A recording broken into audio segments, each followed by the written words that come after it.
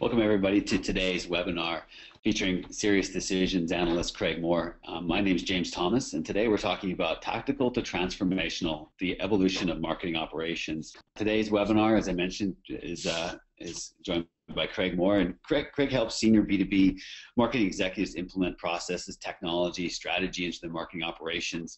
Uh, his main focus is on aligning marketing, product, and sales.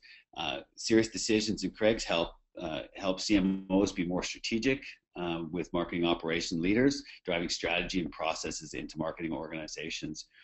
Craig also leads SiriusDecisions Marketing Operations Strategy Service and is focused on helping marketing organizations implement the SiriusDecisions campaign framework. So we're really happy to have Craig with us today.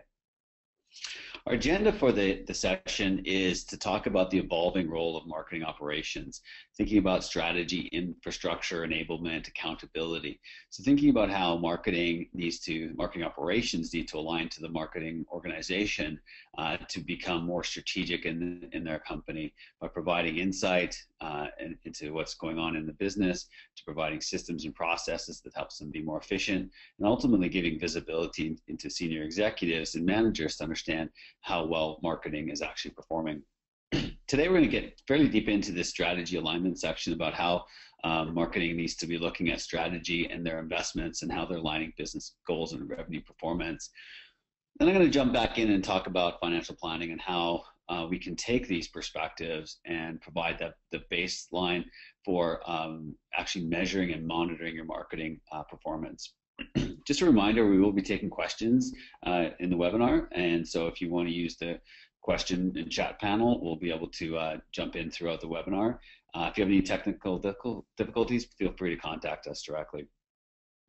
So with that, I'm going to turn it over to Craig to jump into um, what he wants to talk about, which is really about how marketing can transform from being tactical to transformational. So over to you, Craig.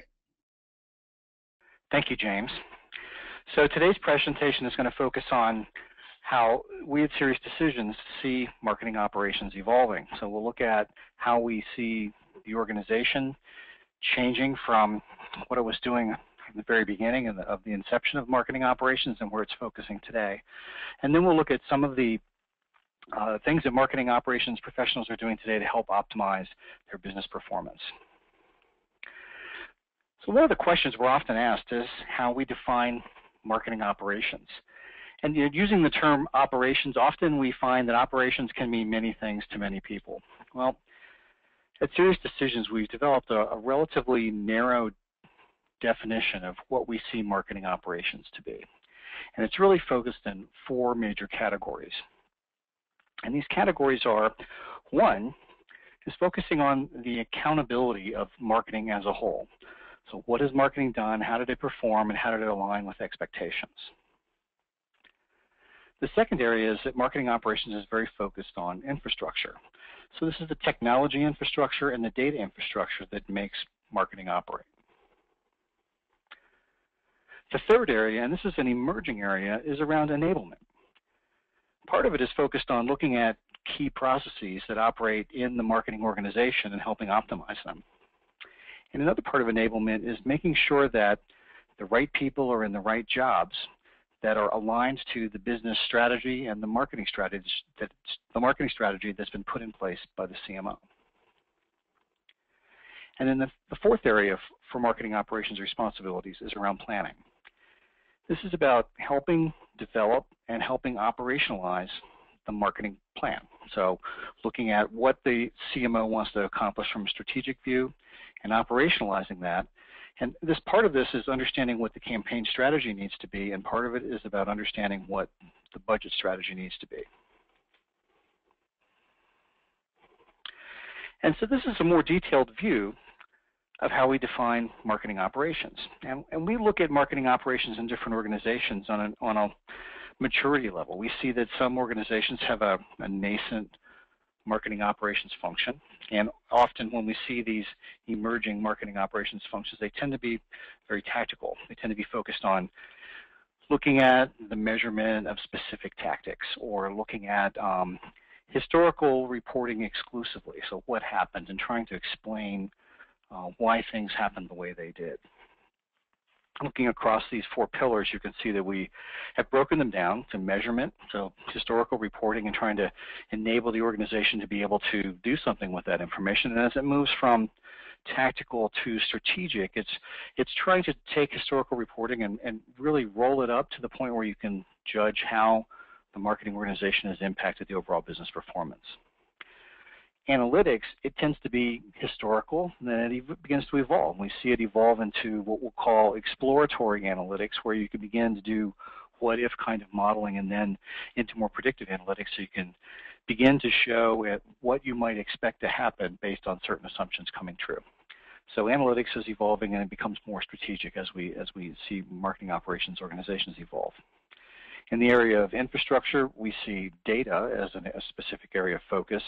Starts with the administration of data and the management of lists, and then evolves into you know, more around master data management, coordinating with the IT organization, and making sure that all the data that's required to do certain marketing activities and to do the analysis on those uh, marketing activities is in place.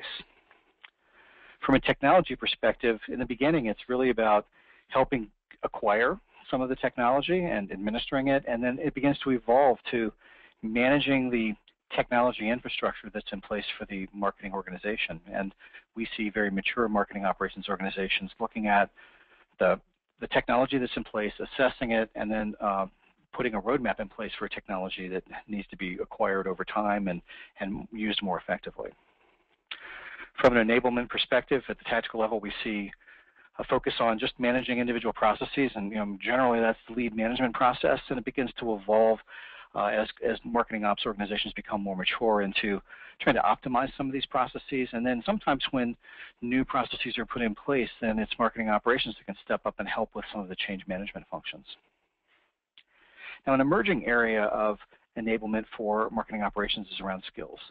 And in the beginning, it's really about training. It's training people on how to use the technology. Often is what we see there. But then, as marketing operations and marketing organizations evolve, this this enablement area becomes more about understanding what the skills and, and competencies are, are that are required for the organization, and then helping the CMO get the right people in the right jobs.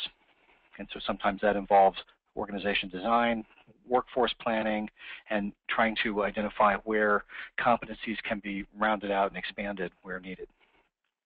And then in the area of planning, we see it in two areas, uh, budget, and budget usually starts at trying to manage the process of, of spending, just really looking at opening POs and trying to manage all the uh, tactics associated with that. But then it begins to evolve into a point where you've got good effective tracking and you're making sure that you're spending all the money that's in your budget because if you don't spend it, it you know, it's it's a waste to marketing. It goes somewhere, probably goes back to finance if you don't spend it. And so doing a good job of making sure that you're consuming the budget and making sure that it's focused on the right kind of activities, all the way up to a more strategic perspective of making sure that the budget plan is aligned to the the go-to-market plan and aligned with campaign plans. And so that the budget planning function and the campaign planning functions often evolve in parallel. So this is the SiriusDecisions view of what marketing operations is all about. It's really got the potential for being quite strategic. There's a lot of business management involved in here, and there's a lot of technology in here, understanding of processes, and it's really uh, an emerging and exciting area of, of work for marketers that have a process-centric view of, of work.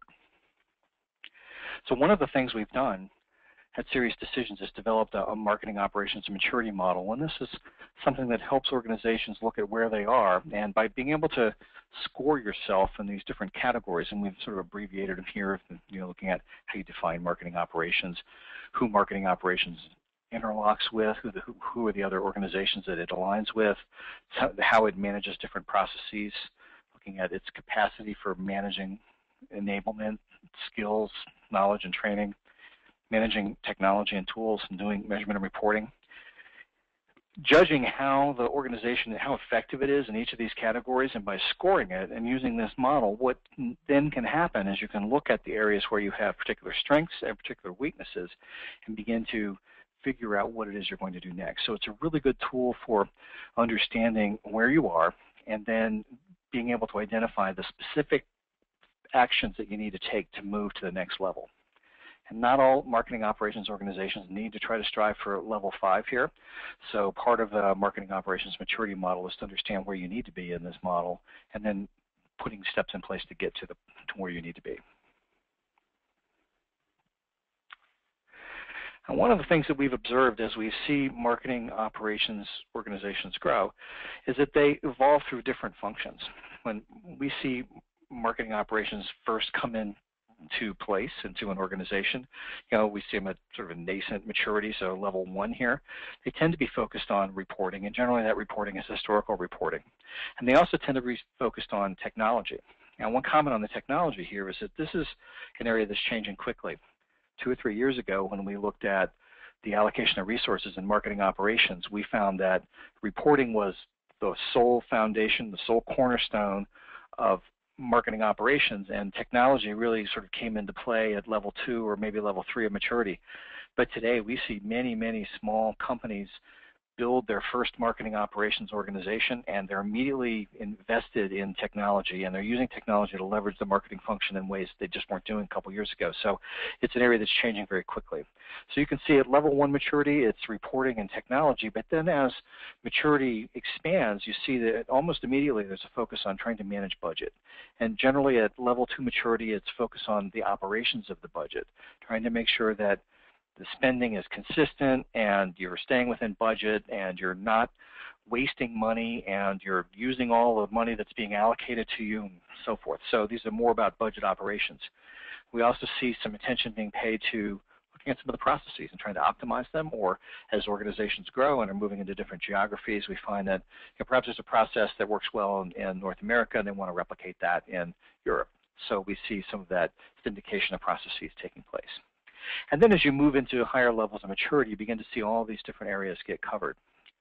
And one thing that's interesting is that about level three of marketing operations maturity is where we see advanced analytics begin to emerge. And I've kind of dimmed the dot here because you know this is a really interesting transition point for the use of analytics one of the things that's happening is as you go into the use of advanced analytics in an organization, you're trying to help drive business change. You're trying to try you're trying to drive the way business decisions are made through the use of insights that you can gather from your analytics efforts. And often that's a, cultural change. It's a it's a corporate culture change to become a data-driven decision-making organization. And so we see that at this level three of maturity, there's it's not about the technology. It's not about the data. It's not about the tools that you have. It's often about getting people to think a little bit differently and to accept the fact that data-driven insights can help drive their decision making. And so we've got it dimmed a little bit here because this is a challenging transition for organizations to really begin to leverage analytics as they become more and more mature in their marketing operations function.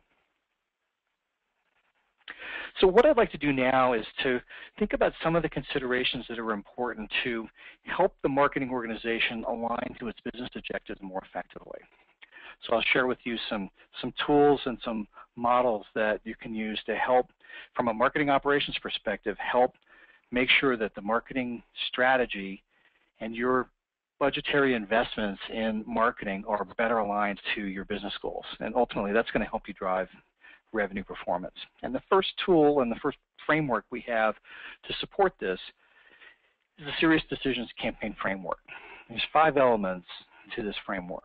And the first is that a campaign is based on a buyer's need. So what we're, focus, what we're saying is you need to focus your go-to-market efforts, your campaign efforts, on the fundamental business needs of the buyer, not on your product, not on your technology. The second is that the campaign is built of these four program families. So you begin to think of your go-to-market efforts not just as demand creation, but as a combination of reputation-based activities, where this is thought leadership, image, awareness.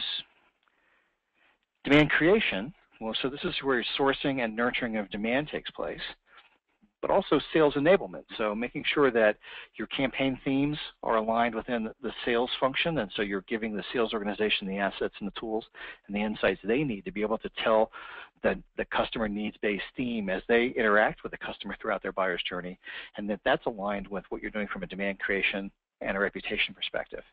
And then finally, the fourth program family in the campaign framework is market intelligence. And since uh, we believe that these campaigns should run for a long period of time, um, market intelligence is an area where you can make some substantial investments in understanding um, whether you've got the right articulation of buyers' needs so your messaging is consistent and is resonating with your buyers, to understand how your competitors are responding to your campaign activities, and sometimes to even understand how your own organization is using your campaign assets, so more introspective primary research to understand how your own organization is using it.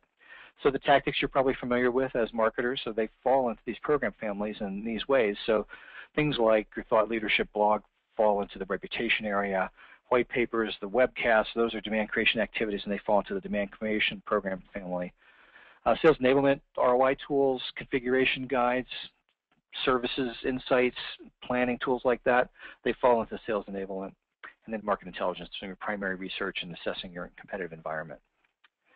So other elements of the campaign framework is that we do see that it runs for a long period of time. We say at least a year. Sometimes when customers get really focused on building out their campaigns, they'll see that years not long enough. It could be two, it could be three years.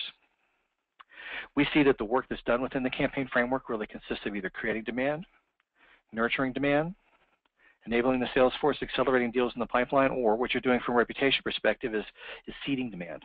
So there's really only five job types that are in there, and that's one of the characteristics of the campaign framework. And finally, to make it all fit together, there's there's this element of collaboration that's really required to make campaigns work. And that's about collaborating with sales, collaborating with all different functions of marketing, and collaborating with your product organization to make it all work together.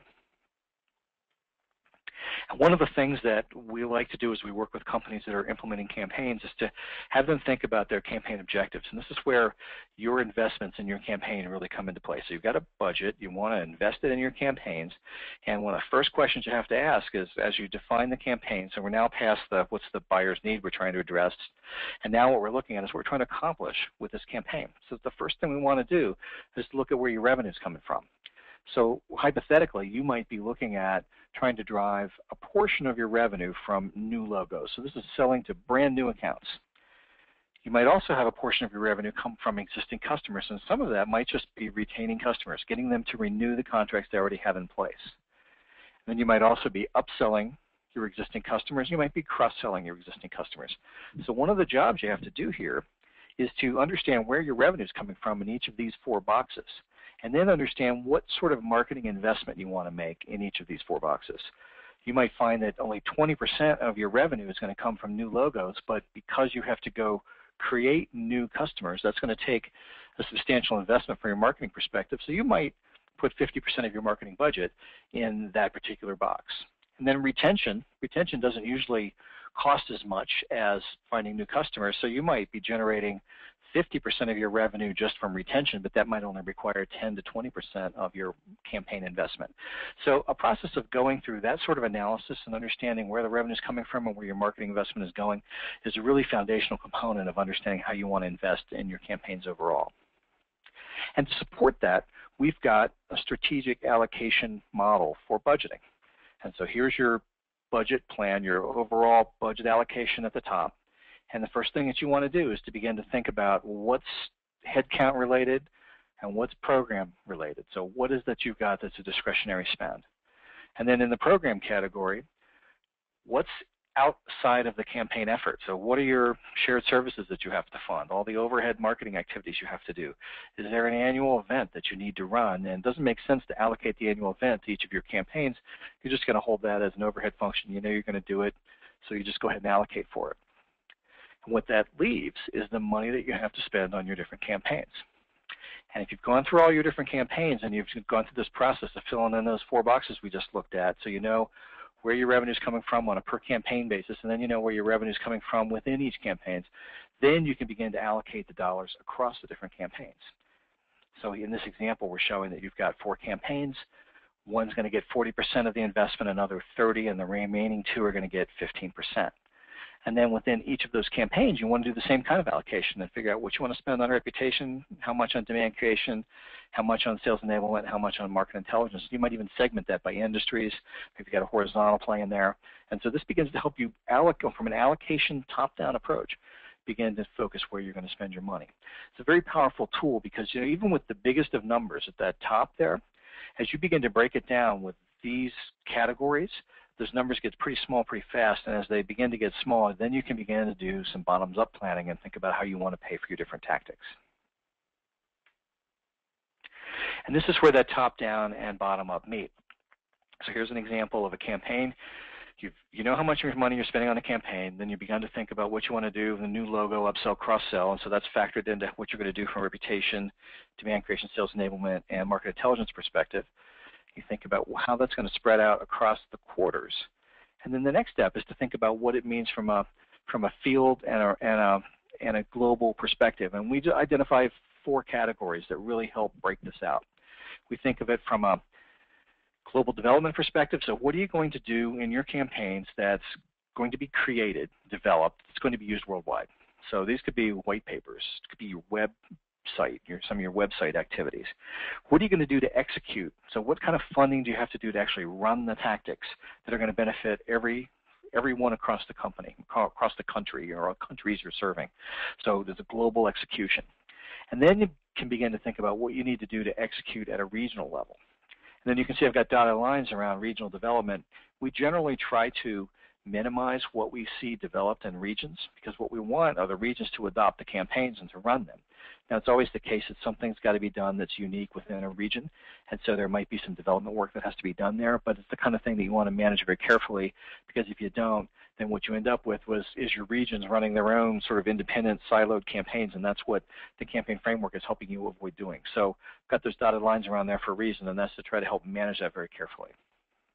This is a very effective tool, and what this enables is the analysis of your return on investment. If you plan top down and then you're careful about allocating and tagging the funds from a bottom up perspective, you can measure the return that you're getting on your investment in marketing campaigns. So let's think about different ways of allocating the budget because there's lots of different ways to do it and organizations each have their own approach and I'll share with you that SiriusDecisions allocates a campaign-oriented approach to allocating budgets. And you see that that budget allocation model that I just shared with you is really focused on showing you how to allocate money to, to campaigns. And by allocating the money to the campaigns, you're funding the initiative. You're funding the thing that you want to do as opposed to funding the department or funding the geography. But there's lots of other ways of doing it, and we recognize that different organizations are going to fund their budgets in different ways. So what I want to share with you here is, just looking at some different ways of allocating budgets and give you some of the advantages and disadvantages of them so you can think about what that means in, in your environment. So the first approach is a centralized approach, and this is where you go to the CMO or you go to the CFO and ask for money for every little thing you want to do. It's kind of a Solomon approach where you go and ask for permission to spend, they grant the permission, they give you the money.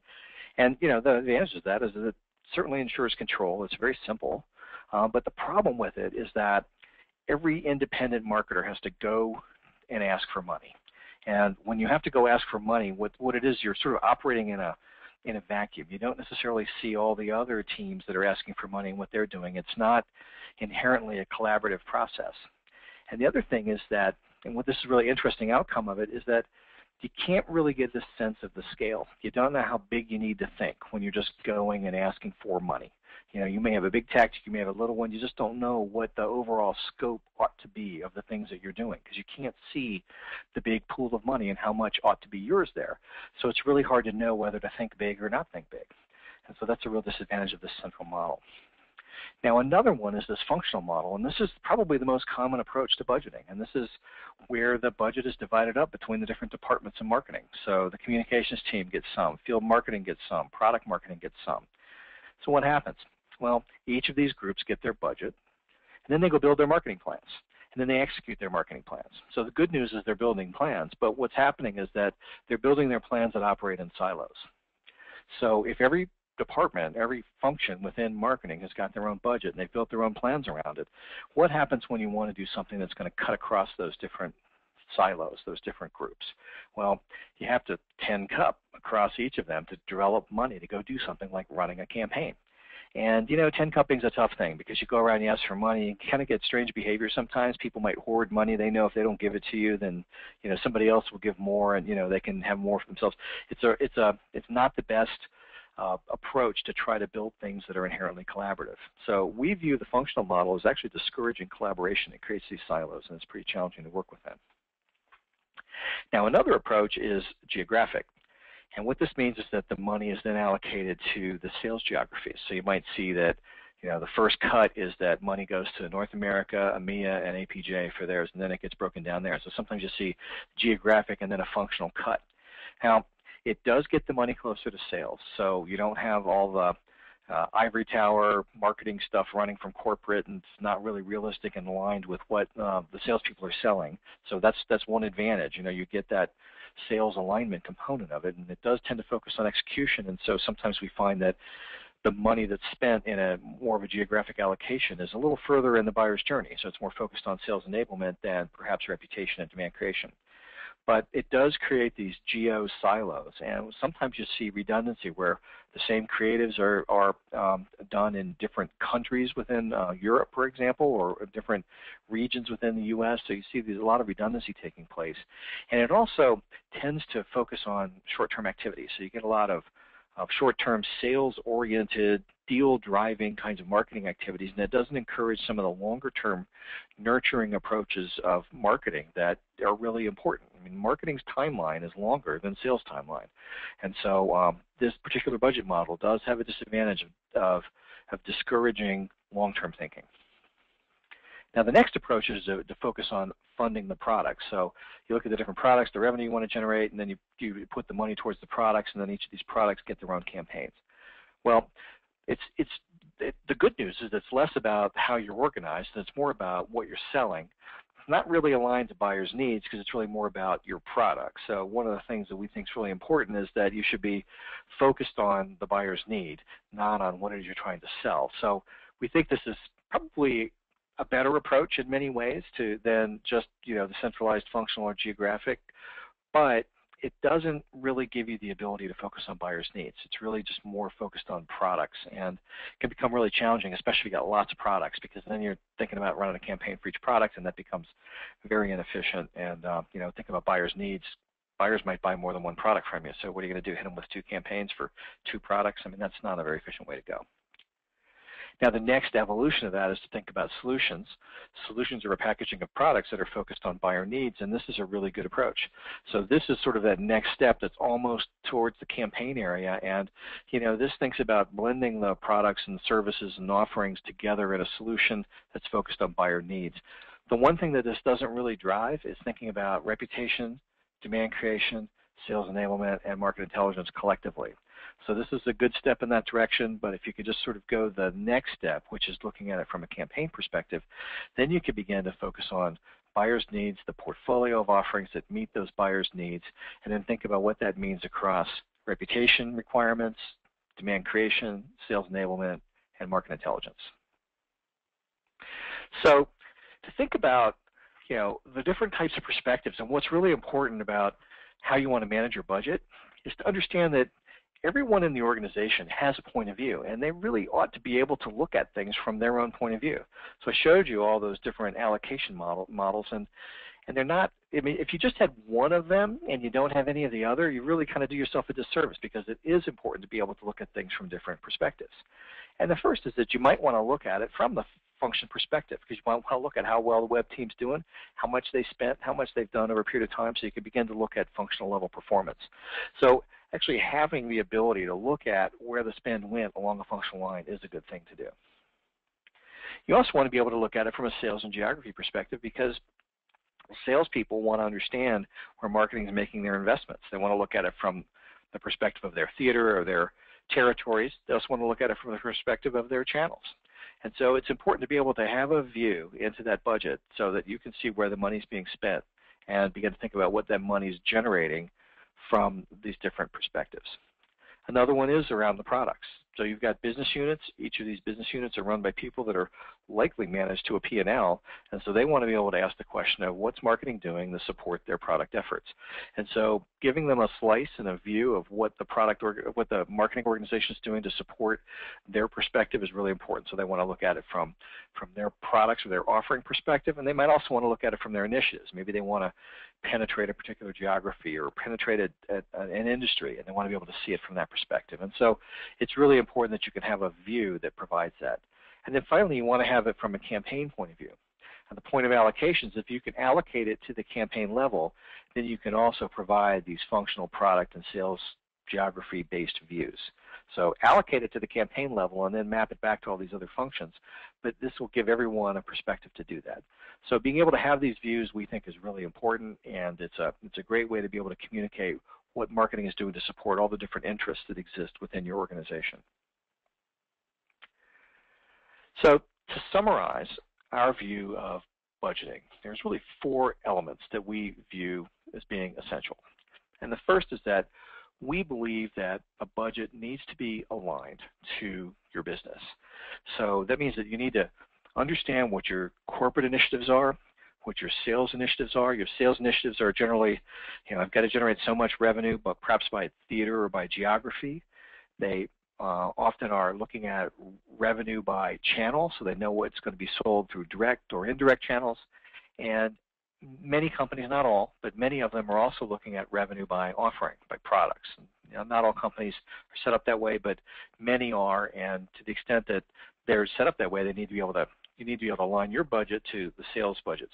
You also need to align your budget to what the business units are trying to accomplish. So they're looking at new products coming in, they're looking at growth or um, share goals in different regions or in different industries, and you need to be able to align your investments and budget to the, the goals that these organizations have. So step one is to align it. Then you need to allocate it, and we believe that the best way to allocate the budget is to allocate it to campaigns. As I said, if you allocate it to campaigns, and you can also factor in the theaters and the products and the functions, that's easy to do once you get it to the campaigns. If you get if you just get it to the to the other components, if you just get it to the functions, it's really hard to map it to campaigns. You got to get it to the campaigns and allocate it there. Now, another thing that we believe is really important is we think that budgets should be transparent. We think that understanding where marketing's budget is going and not cloaking it in secrecy, but making it visible to all those that have a need to know, then you can see where the money's going. Everybody has a good sense of what investment is being made by marketing into their area of interest. And that really answers a lot of questions that organizations have. If they can't see it, they don't know what is going into the other kitties, and um, they may not feel that there's fairness involved. So it's really important to be able to have transparency in your budgeting process. And then finally, you need to be able to manage it effectively. And marketing operations has a big role in that. And uh, we believe that that top-down allocation and then effective bottom-up management is really critical.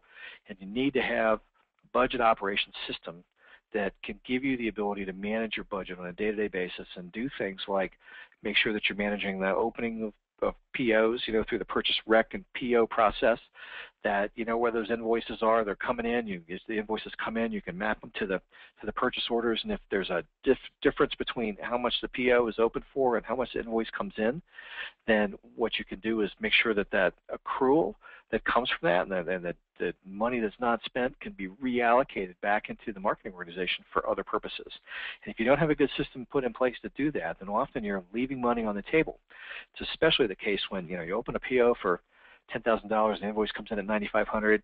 There's five hundred dollars sitting somewhere waiting to be spent, and um, if marketing doesn't know that they can go claim that money and reallocate it to something else, the money gets lost. It gets lost to marketing. It's, it's in the company's hands somewhere but you know you're not really doing your your job if you're leaving money on the table and just gets uh, you know kind of scooped back into the to the finance kitty for um, other uses uh, because that money was given to marketing to accomplish a job and, and not spending is a shame.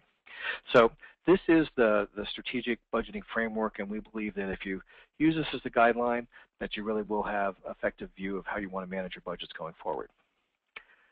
So at this point I'd like to turn over to James and he can help show how Allocadia can address some of these considerations that I've highlighted today. Thanks, Craig, for the overview of the strategic budgeting framework for marketing. And, and what I want to do now is to talk about how we take a lot of this concepts and strategy and put it into practice uh, with, with Allocadia. And so, just a re refresher, if you don't know Allocadia very well, I haven't researched us too much. Allocadia is what we call a marketing performance management system. And by that we mean at the core of Allocadia is a planning and budgeting application. Um, the idea that uh, marketers need to take that corporate strategy and that plans that Craig talked about and put it into a system so that then it can be managed. Uh, when you're talking about your how much you plan on spending on what activities, how much your return on investment you plan to drive um, to align to the business strategy we just talked about. also a, a, budgeting application where you can actually replace your budgeting spreadsheets uh, with uh, a cloud-based system that lets you track your targets, your actionals, and do things like scenario planning, saying, what if my budget decreases? What if my budget increases? What if um, I need to invest more in one of the strategies Craig talked about? We, we surround that by accessing all the different systems needed to drive that, whether it be from finance, whether it be from your Salesforce automation system, uh, to track your revenue performance, your invoices, uh, or accessing your other marketing automation systems. So whether that be a, a Marketo or Eloqua, whatever you're using to manage your um, your marketing programs, we want to connect to that.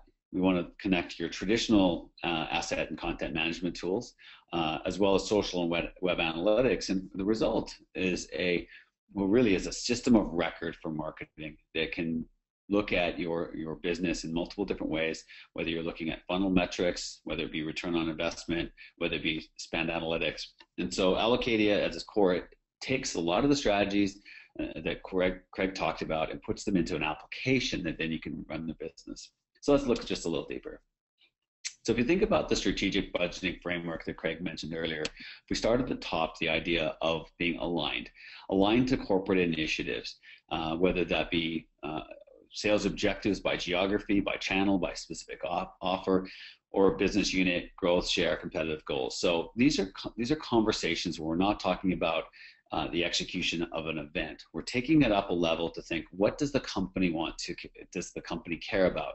And if you think about, um, uh, in this example where we have our budget's a North American budget, and I want to sort by objective, my objectives might be uh, by by category. This is the SiriusDecisions framework.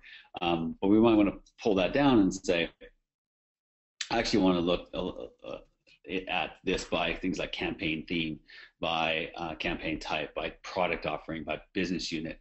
So you want a multidimensional view of all your spend based on how the company wants to look at your at your uh, at your objectives. So making sure you're aligned, the first thing that marketing can do. If you're going ahead and building uh, and just talking about executing campaigns, you're probably missing the point as you want to speak outside of marketing into your head of sales, your uh, CFO, uh, or or your CEO, who really has a different requirement to look at marketing. So making sure you're aligned to the right people and the right teams in the organization is your first step. So you want to be able to be able to view your uh, in your budget in, in any any format. The second one is allocated, so you want to make sure that you can spend the money that you've been uh, assigned to you. And that's what Craig talked about just before we handed it over, was talking about making sure that you're, you're looking at the budget that you have, making sure you understand what you're spending it on, making sure that everybody is, has visibility into um, into what campaigns are happening and what trade shows are happening and how much how many leads you expect to generate and how much is being spent. So um, SiriusDecisions, we, we did a webinar with uh, Sirius last year. It's available on our website to talk about the SiriusDecisions campaign framework, making sure you're measured, measuring your business uh, based on uh, how you want to be a consistent view of how you want to be looking at your business. So if you want to go back and refer to that about the campaign framework, that's clearly one element we want to um, to look at. Third level is about being transparent, and there's a big belief that uh, many organizations, uh, in, in the past, marketing has been this a bit of a black hole for how um, they're really driving the business, and the numbers they would talk about would be things like leads and things like um, uh, campaign execution. But being transparent is really about uh, sharing the information uh, with different departments, whether it be different departments in marketing. So it could be field marketing, Americas, EMEA, and Asia Pacific. How are you performing across those regions? Uh, you want to be able to look at this by uh, thinking about what your executives might want to see a, a, highly visible dashboard that talks not just about leads but about revenue performance um, spend analytics how much i'm spending on spending on different areas um, and and one of the big con- forgotten constituents is often finance and and marketing and finance um, have long had a, a strained relationship where marketing would go to finance and they get a big bucket of money and then marketing would go and squirrel away that money in a spreadsheet. It just doesn't it shouldn't happen that way anymore. And it's we we talk to some customers who really want to um, look at controlling some of their budget. Now, certainly you can do um, control who sees sensitive information, but we see the most effective organizations providing complete visibility across all teams, across all channels, um, and providing that transparent view, uh, not just for marketing, but for sales organizations to know what you're doing and what's working, what's not, uh, for bus- different business units, but also providing uh, finance with the information on how well you're doing according to your plan and according to your budget. So if you look at this really quickly, thinking about um, uh, access control lists and understanding who gets to see what, who's an administrator, who's a viewer. Uh, what we find in many of our organizations, the more progressive ones, uh, 80 to 90% of marketers will have access to uh, to Allocadia. And I think that's a great example of being transparent. Um, many organizations start off with just a small subset of people, but quickly realize that the better you share information with different constituents on what working, what's not, the ability to transfer budget from one program to, to the other, and we all know as marketers that happens all the time where you have a negotiation between uh, the um, a field marketing team who wants to do a major event uh, and a digital marketing team who has their own budget or whatever the scenario is, we need to be able to have a system that can actually manage the transfer across those different departments.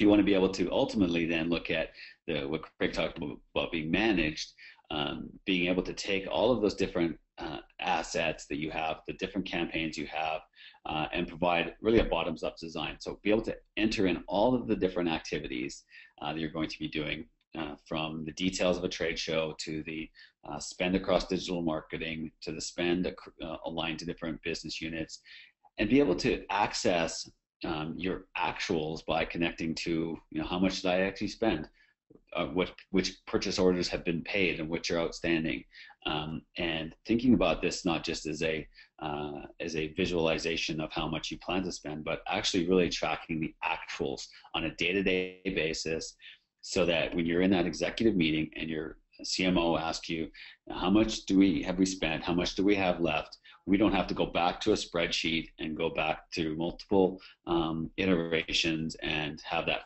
fire drill that every marketer has been in. I know I have, I know my team has, and I'm sure you have, where you're asked for something that's just not at your fingertips. So thinking about your, your bottom-up design of your spend, but also the day-to-day um, delivery of marketing budgets. Ultimately, what you want to be able to do is looking at your marketing uh, as not just a series of activities, but uh, how actually marketing drives uh, revenue and investments in one place. So this is an example of an Allocadia dashboard that talks about our revenue plan, um, how much we've won today, how much is left to generate, and where my return on investment is coming from. So I get a quick snapshot aligned to um, things like what uh, what's my ROI by team, what's my um, spend by different objective, uh, and looking at you know things like funnel conversion rates being able to quickly slice and dice and say, well, I want to see how um, doing this quarter, last quarter. I want to look at this by marketing objective, all the different things that marketers want to do. I want to be able to look at my data uh, in, a, in an executive boardroom, in my marketing meeting, uh, in, in uh, whatever scenario you're looking at. You want to be able to see the, the results that you're driving. And, and again, moving from marketing planning to revenue performance. So looking again at what my revenue plan, my forecast, my targets, um, what my forecast funnel conversion rates are. You know, all of these um, views that you just can't, you simply can't get unless you're looking at marketing as a holistic environment. You need to be able to connect to your marketing automation system, as we talked about earlier, your Salesforce automation system to drive the revenue, the spend data coming from your purchase order system, whether it be an SAP or Ariba or um, a spreadsheet, your marketing development funds, data lives everywhere. If you think about marketing and not just as the, the planning, but actually how you're driving revenue performance, I think you'll get a, we'll, we'll see with our customers certainly, a much fuller view of what's happening, what's working, what's not, who is aligning their business, who's being strategic, who's being tactical, and ultimately, mm. you know, where we should spend our, our future marketing dollars. So that's a really quick overview of how Allocadia works with the strategic budgeting framework that Craig talked about, aligning your business uh, to those core objectives, managing the spend, managing your budgets, and providing that transparency and visibility into how uh, marketing ultimately wants to be measured, which isn't about leads, it's about revenue. And we think this is a really exciting time for marketers and, and excited to talk to you about it. And so what we want to do is, is let's, let's talk further about your initiatives. And so we really want to be able to spend a little time with you uh, talking about your marketing programs, your marketing challenges. Um, we do a weekly demo uh, to, to show you how the system actually works. Uh, but what we find best is let's talk about your business. You know, give us a call. Um, lots of ways to to um, to work with us, and we can uh, dig deeper into uh, your challenges, what your uh, how your corporate objectives could be shown and allocated, and uh, and love and love to talk further about that. With that, we're going to wrap up the webinar. Uh, we've answered lots of questions through uh, things like Twitter. We have a whole series of blogs on our website where we've answered more questions talking about the path to performance and how we measure it. And so, uh, with that, I think we want to to wrap it up.